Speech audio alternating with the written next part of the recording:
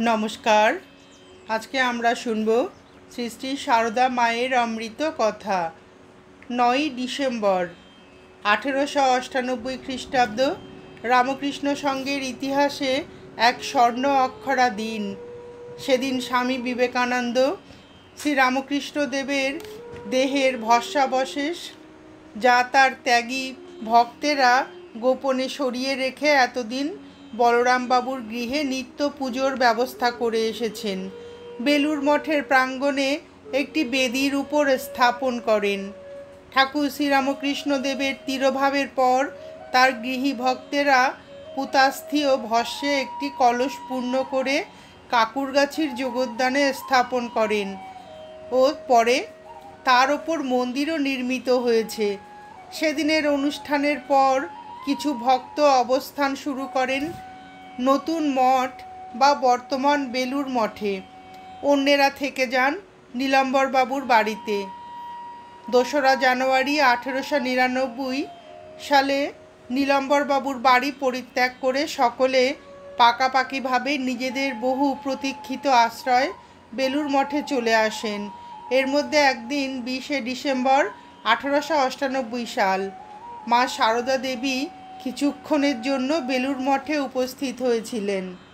আঠেরোশো নিরানব্বই সালের আঠাশে মার্চ মা সারদা দেবীর দীর্ঘদিনের একান্ত সেবক যোগানন্দ স্বামী মহা সমাধিতে নিমগ্ন হন।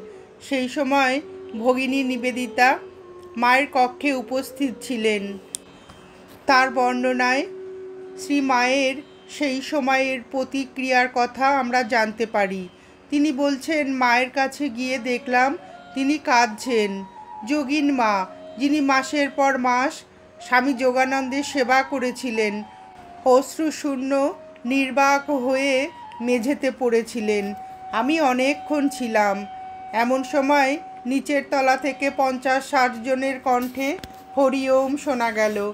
মা তাড়াতাড়ি আমায় বললেন, গিয়ে দেখে আসতে।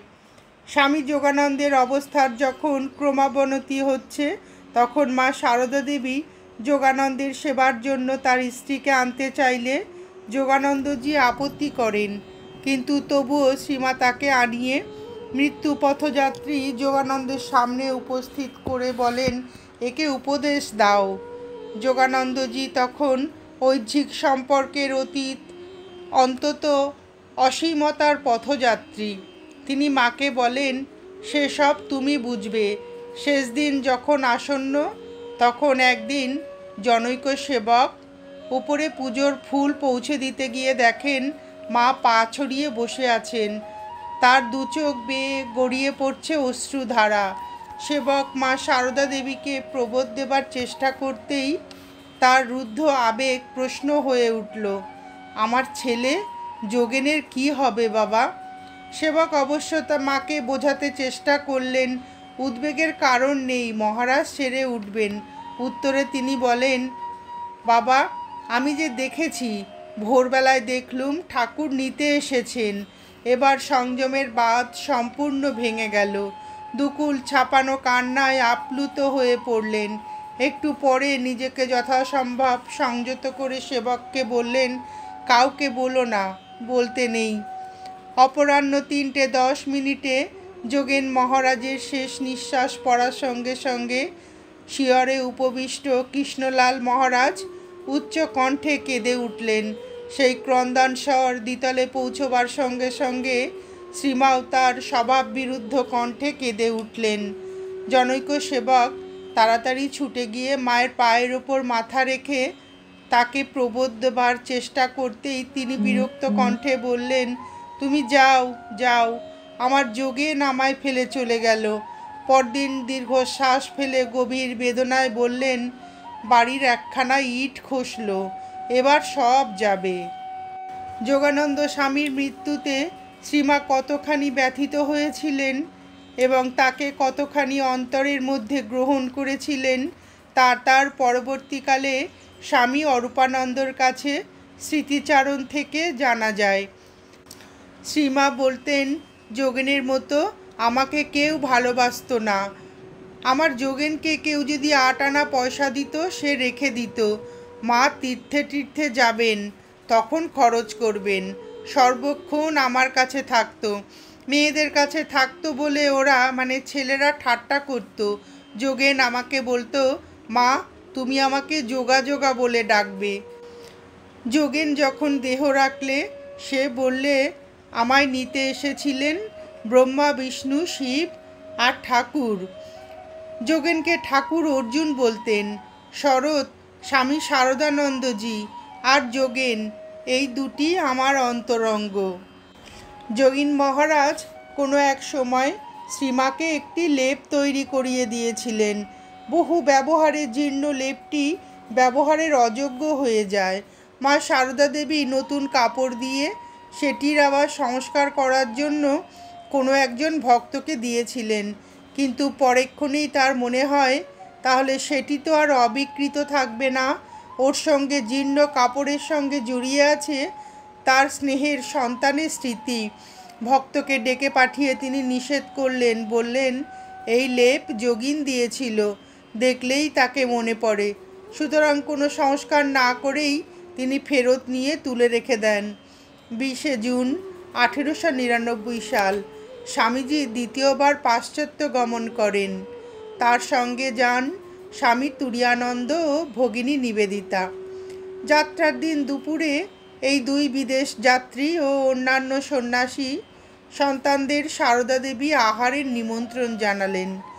সকলকে পরিতোষ সহকারে আহার করানোর পর তিনি স্বামীজি ও তুরিয়ানন্দজিকে আশীর্বাদ জানিয়ে বিদায় দিলেন। বেলা তিনটায় তারা ঘোড়ার গাড়িতে করে যাত্রা করলেন প্রিন্সেপ ঘাট অভিমুখে। দোসরা আগস্ট আঠেরোশো নিরানব্বই সাল। মা শারদার জীবনে আর এক আকস্মিক মর্মান্তিক আঘাত এলো, যা তার পরবর্তী জীবনকে বিশেষভাবে প্রভাবিত করেছে। তার সর্বকনিষ্ঠ ভ্রাতা অভয়চরণ সবেমাত্র ক্যাম্বেল মেডিকেল স্কুল থেকে ডাক্তারি পাশ করে বেরিয়েছেন। হঠাৎ কলেরা রোগে তার মৃত্যু হলো। তার মৃত্যু শিহরে উপস্থিত শ্রীমাকে তিনি বলেছিলেন, দিদি, এরা সব রইল, তুমি এদের দেখো। সেদিনের সেই ভার গ্রহণ তার জীবনকে কতখানি ক্লেশকর, যন্ত্রণাদায়ক করে তুলেছিল, তা পরবর্তীকালের বিভিন্ন ঘটনায় জানা যাবে। অভয়চরণকে তিনি প্রায় নিজের সন্তানের মতো মানুষ করেছিলেন। তার উদ্যোগেই অভয়চরণ ডাক্তারি পড়বার সুযোগ পান। অভয়চরণের মৃত্যুর সময় তার স্ত্রী সুরবালা অন্তঃসত্ত্বা অবস্থায় পিত্রালয়ে। বাল্যে মাতৃহারা সুরবালা দিদিমা ও মামিমার কাছে প্রতিপালিত। অভয়চরণের মৃত্যুর অল্পদিনের মধ্যেই লোকান্তরিত হলেন দিদিমা। মামিমাও রোগে শয্যাশায়ী। সারদা দেবী কনিষ্ঠ ভ্রাতার শেষ অনুরোধ রক্ষা করবার জন্য সুরবালাকে জয়রামবাটিতে এনে রাখলেন। কিছুদিনের মধ্যেই সুরবালার মামিমাও মারা গেলেন। পরপর এতগুলি আঘাতে সুরবালার মানসিক ভারসাম্য নষ্ট হয়ে গেল এবং মা সারদা দেবীর পরবর্তী জীবন এই বিকৃত মস্তিষ্ক ভ্রাতৃ জায়াকে নিয়ে দুর্বিষহ হয়ে উঠেছিল। তিরিশে অক্টোবর মা সারদা দেবী কলকাতা থেকে জয়রামবাটি ফিরে যান সম্ভবত আসন্ন প্রসবা সুরবালার তত্ত্বাবধানের জন্য। উনিশশো খ্রিস্টাব্দে ছাব্বিশে জানুয়ারি সুরবালা একটি কন্যা সন্তান প্রসব করেন। মা সারদা দেবীর পরবর্তী জীবনের অবলম্বন হয়ে দাঁড়ায় এই কন্যা, রাধারানী বা রাধু।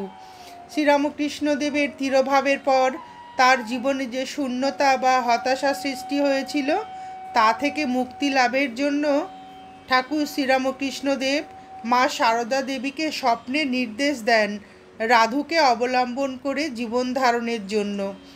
বিকৃত মস্তিষ্কা সুরবালার পক্ষে সন্তান পালনের অনিশ্চয়তার কথা স্মরণ করে শ্রীমা কুসুম কুমারী নামক এক স্ত্রী ভক্তের ওপর দায়িত্ব ন্যস্ত করেন রাধুর প্রতিপালনের জন্য। নয় ডিসেম্বর স্বামীজি বিদেশ থেকে কলকাতায় ফিরে এলেন। কিন্তু সঙ্গে সঙ্গে জানতে পারলেন যে কারণে তাকে পাশ্চাত্য পরিভ্রমণের মধ্যপথে কলকাতায় ফিরতে হয়েছে, তা সম্পূর্ণ ব্যর্থ। তার একান্ত সেবক সেভিয়ারের অসুস্থ সংবাদ পেয়ে তার শয্যা পার্শ্বে উপস্থিত হবার জন্যই তিনি ফিরে এসেছিলেন। কলকাতায় পৌঁছে সংবাদ পেলেন সেভিয়ার ইতিমধ্যে পরলোক গমন করেছেন। শ্রীমতী সেভিয়ারকে সান্ত্বনা দানের উদ্দেশ্যে স্বামীজি অচিরেই মায়াবতী যাত্রা করলেন। উনিশশো এক খ্রিস্টাব্দের চব্বিশে ফেব্রুয়ারি বেলুর মঠে ঠাকুর শ্রীরামকৃষ্ণদেবের জন্ম উৎসব। মা সারদা দেবী সেই উৎসবে যোগদান করেছিলেন। যোগদান করেছিলেন স্বামীজিও। শ্রীমার তখন আশ্রয় ষোলো নম্বর বোসপাড়া লেনের ভাড়া বাড়ি। সঙ্গে শিশুকন্যা সহ সুরবালা। এই বাড়ির পাশে ছিল একটি সংকীর্ণ গলিপথ। একদিন রাত্রে সেই গলিপথে চোর এসে শ্রীমায়ের রান্নাঘরে প্রবেশ করে। তখন শেষ রাত। চিরদিনের অভ্যাস মতো সেদিনও সুরবালা শেষ রাতে উঠে একটি প্রদীপ নিয়ে রান্নাঘরে প্রবেশ করে অকস্মাৎ চোরটিকে দেখে প্রবল চিৎকার করে অজ্ঞান হয়ে যান। সকলের শুশ্রূষায় তার জ্ঞান ফিরলেও মানসিক রোগ প্রবল হয়ে ওঠে। অগত্যা মা সারদা দেবী তাকে নিয়ে আবার দেশে ফিরে যাওয়ার সংকল্প করলেন। যোগিন মা কিন্তু এই ব্যবস্থায় সম্মতি দিলেন না। তিনি ব্যবস্থা দিলেন, কুসুম কুমারী যেভাবে রাধুকে দেখাশুনো করছে তাতে মায়ের দেশে ফিরে যাবার প্রয়োজন নেই। কুসুম কুমারীর সঙ্গে সুরবালা রাধুকে নিয়ে দেশে ফিরে যান। আপাতত মা থাকুন কলকাতায়। এই অবস্থায় মা মা সারদা দেবী পড়লেন দ্বিধায়। একদিন সন্ধ্যাবেলা জপ করতে করতে ভাব দৃষ্টিতে দেখতে পান শিশুকন্যাটি উন্মাদিনী মায়ের হাতে অশেষ ক্লেশ ভোগ করছে, এমনকি তার প্রাণ সংশয়ও।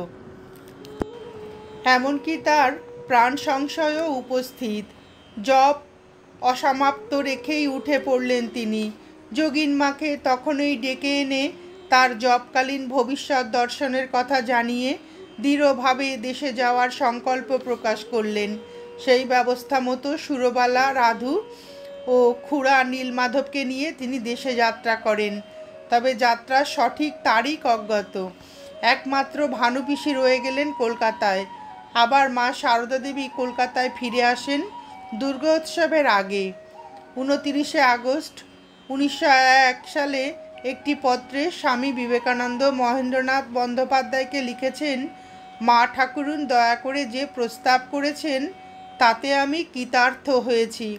কিন্তু মঠের সবাই বলছে যে নীলাম্বর বাবুর বাড়ি, এমনকি গ্রামেই এ মাসে ও পরের মাসে ম্যালেরিয়ায় ছেয়ে যায়। তারপর ভাড়াও অত্যাধিক। সুতরাং মা ঠাকুরুন যদি আসতে চান তবে আমি তাকে এই পরামর্শ দিই যে তিনি কলকাতায় একটা ছোট বাড়ি ঠিক করুন। ফল কথা প্রভু তাকে যে রূপ চালান তিনি সেই রূপেই চলবেন। আমরা শুধু প্রস্তাব করতে পারি। আমরা যা বলব তা একেবারে ভুলও হতে পারে। তিনি যদি থাকার জন্য নীলম্বর বাবুর বাড়ি পছন্দ করেন তবে ভাড়া ইত্যাদি আগে থেকেই ঠিক করে রেখো। মায়ের ইচ্ছায় পূর্ণ হোক, আমি তো এইটুকুই বুঝি। আবার সাতই সেপ্টেম্বর উনিশশো এক সালে স্বামীজি মহেন্দ্রনাথকে লিখেছেন, সারা বছরের জন্য বাড়ি ভাড়া নেওয়ার সিদ্ধান্তটা ভেবেচিন্তে করতে হবে। একদিকে যেমন এ মাসে বেলুড়ে ম্যালেরিয়া হবার ভয় আছে, অন্যদিকে তেমনি কলকাতায় প্লেগের ভয়। তাছাড়া কেউ যদি গায়ের ভিতরে যাওয়া সম্বন্ধে সাবধানে থাকে, তবে ম্যালেরিয়া থেকে বাঁচতে পারে। কারণ নদীর ধারে ম্যালেরিয়া মোটেই নেই। প্লেগ এখনও নদীর ধারে আসেনি। আর প্লেগের প্রকোপকালে এ গায়ে যে কটা বাড়ি ছিল, সবই মারোয়ারিদের দ্বারা ভর্তি। তাছাড়া সবচেয়ে বেশি তুমি কত ভাড়া দিতে পারো তা জানাবে। আমরা সেই অনুযায়ী বাড়ি দেখব। আরও একটা প্রস্তাব হচ্ছে, বাড়িটি কলকাতায় নেওয়া। যত শীঘ্র সম্ভব এই দুটি বিষয়ে সিদ্ধান্ত করতে পারলে ততই ভালো। মা বেলুড়ে থাকবেন না কলকাতায়? যদি কলকাতায় থাকেন, তবে ভাড়া কত? এবং কোন পাড়ায়?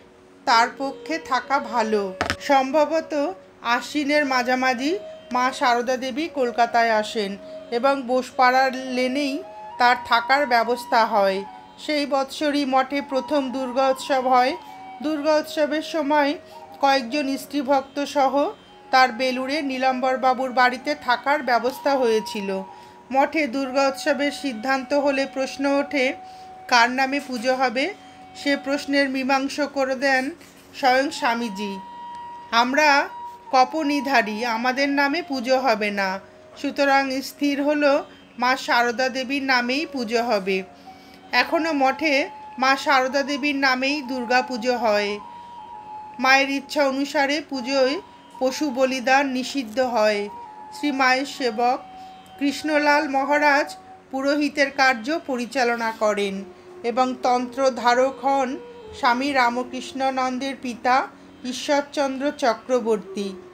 স্বামীজি মার হাত দিয়ে ঈশ্বরচন্দ্রকে পঁচিশ টাকা দক্ষিণা দিয়েছিলেন। মঠের দুর্গা উৎসব। স্বামীজির উপস্থিতিতে প্রথম দুর্গা উৎসবই স্বামীজির জীবনের শেষ দুর্গোৎসব এই দুর্গা উৎসবকালে কৌতুকজনক একটি ঘটনার কথা শ্রীমা বলেছিলেন। মা বলিলেন, নরেন আমাকে মঠে নিয়ে গিয়ে প্রথম দুর্গা পুজো যেবার করায়, সেবার পুজোর পরের দিন লোকে লোকারণ্য হয়ে গেছে, ছেলেরা খাটছে। নরেন এসে বলে কি, মা, আমার জ্বর করে দাও। ও মা বলতে না বলতে এই খানিকক্ষণ বাদেই হাড় কেঁপে জ্বর এলো। আমি বলি, ও মা, এ কি হলো? এখন কি হবে? নরেন বললে, কোনো চিন্তা নেই মা, আমি সেধে জ্বর নিলুম। এই জন্যে যে ছেলেগুলো প্রাণপণ করে তো খাটছে, তবু কোথাও ত্রুটি হবে? আর আমি রেগে যাব, বকবো? চাই কি দুটো থাপ্পড়ও দিয়ে বসবো? তখন ওদেরও কষ্ট হবে, আমারও কষ্ট হবে। তাই ভাবলুম কাজ কি? থাকি না কিছুক্ষণ জ্বরে পড়ে, তারপর কাজকর্ম চুকে আসতেই আমি বললুম, ও নরেন, এখন তাহলে ওঠ। নরেন বললে হ্যাঁ মা। এই উঠলুম আর কি। এই বলে সুস্থ হয়ে যেমন তেমনি উঠে বসল। স্বামীজি সেবার নিজের গর্ভধারিণী মাকেও মঠে এনেছিলেন। একথা জানা যায় শ্রী মায়ের স্মৃতিচারণ থেকে। সে বেগুন তোলে, লঙ্কা তোলে আর এ বাগান ও বাগান ঘুরে বেড়ায়। মনে একটু অহং যে নরেন এইসব করেছে। নরেন তখন তাকে লক্ষ্য করে এসে বলে, ওগো, তুমি করছ কি? মায়ের কাছে গিয়ে বসো না। লঙ্কা ছিঁড়ে, বেগুন ছিঁড়ে বেড়াচ্ছ? মনে করছ বুঝি তোমার নরু এসব করেছে? তা নয়। যিনি করবার, তিনিই করেছেন। নরেন কিছু নয়। সম্ভবত বছরের শেষের দিকে মা সারদা দেবী সুরবালা ও রাধুসহ দেশে ফিরে যান। নমস্কার, আজ এ পর্যন্তই। সৃষ্টি মা সারদা দেবীর এই মধুর অমৃত কথা শুনে আপনাদের ভিডিওটি কেমন লাগল জানাবেন সৃষ্টির ঠাকুর ও সৃষ্টি মায়ের অফুরন্ত আশীর্বাদ। আপনাদের সকলের মাথার ওপর অঝোর ধারায় বর্ষিত হোক, এই প্রার্থনা করে ভিডিওটি শেষ করছি।